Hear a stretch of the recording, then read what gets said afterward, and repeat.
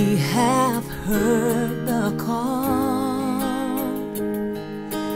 born to lead this generation.